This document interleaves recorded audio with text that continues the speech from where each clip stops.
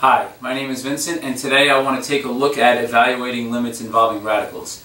So we have evaluate the following limits and we're going to do two examples but the first one is the limit as x approaches 2, 2x minus 4 over radical 2 minus radical x. Now your first line of attack with limits is to plug in. But if we plug in 2, notice we're going to get 0 over 0 which is indeterminate so we have to rearrange this algebraically.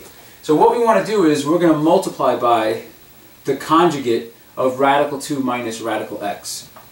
And just a tip, when you're doing these, some students might try to multiply by the conjugate of 2x minus 4, but most of the time you're going to have to multiply by the conjugate of the term involving the radical.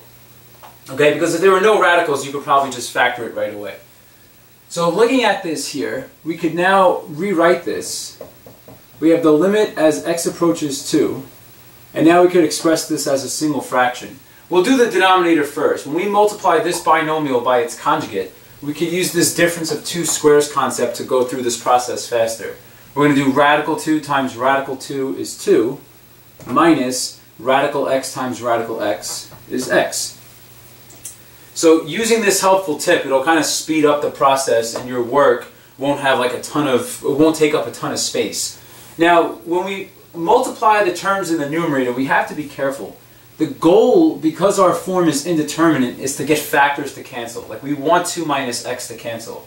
So if we multiply these two together, that's going to make this really complicated and not allow us to cancel any factors. So we're going to take 2x minus 4 and we're going to factor that as 2 times x minus 2. And now we're just going to write the other factor next to it, radical 2 plus radical x. So remember, at this step, do not multiply these two together because if you look, x minus 2 over 2 minus x is going to cancel out. But remember, when they cancel, it's going to generate a negative 1 because the factors are flipped. If it was x minus 2 over x minus 2, they would cancel and you know we wouldn't need to put a negative here. So then for the next stage of this problem, we could simplify this a bit. This is the limit as x approaches 2. And we have negative 1 times 2 is negative 2. And we have radical 2 plus radical x. So now that the factor is removed, we can plug in now. So then to simplify this limit, this limit is equal to negative 2 times radical 2 plus, and instead of radical x, we're going to replace x with 2. So now this simplifies to negative 2, and we have radical 2 plus radical 2 is 2 radical 2.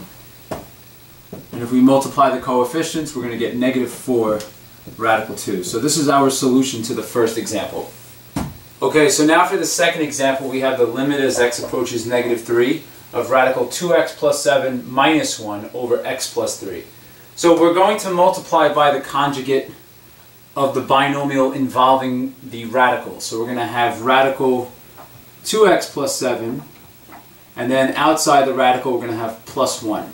So we're going to multiply both the numerator and denominator by this expression here.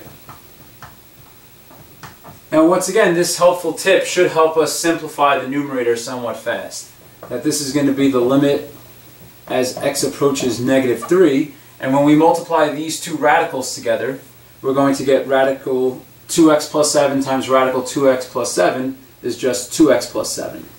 And now we have minus 1 times 1 is just 1 over, and we're going to leave the denominator in factored form. We're not going to multiply those two together because remember, it's only going to overcomplicate this and nothing will cancel if we do.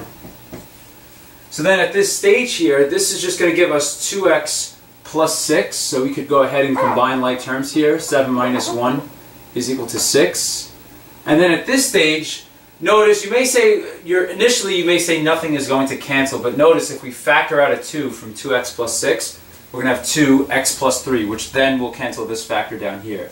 So we're going to have, for the next line, the limit as x approaches negative 3, and we have 2 times x plus 3 over x plus 3 times radical 2x plus 7, and then plus 1. So now the x plus 3, x plus 3 cancels. And we could rewrite this limit as the limit as x approaches negative 3.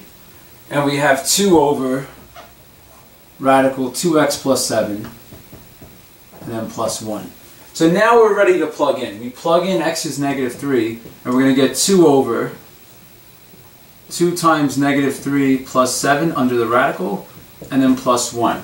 But notice here, this is going to give us negative 6 plus 7, which is going to give us the square root of 1. So this is now 2 over the square root of 1 plus 1, which is 2 divided by 2, and 2 divided by 2 is equal to 1. So the limit as x approaches negative 3 for our second example here should work out to positive 1.